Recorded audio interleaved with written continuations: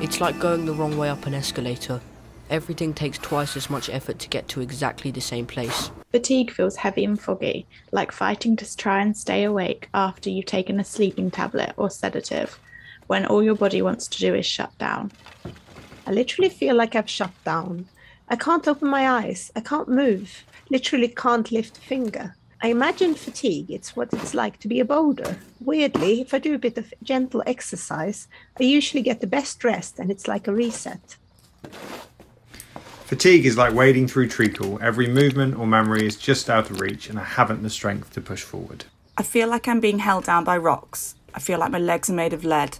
I'm wearing concrete boots and wading through mud. When I'm overly fatigued, I feel physically sick. A wave of sickness comes over me, and I just want to be quiet and left alone because I can't think straight, and my limbs feel heavy and achy, a bit like flu. Fatigue is like the worst hangover and period cramps rolled into one, but no amount of rest eases the feeling.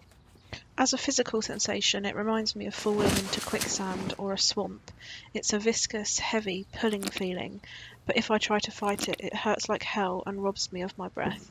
As a sound, it's like a muted background noise of violins scratching away that seem to be ever increasing in speed and out of sync, while the outside world seems dampened and fading.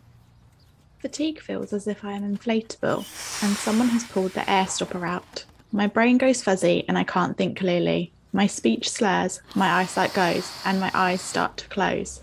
I think the room is full of smoke. Swallowing becomes more difficult. My balance gets worse, and my legs feel heavy and clumsy. For more on fatigue, visit mstrust.org.uk forward slash fatigue.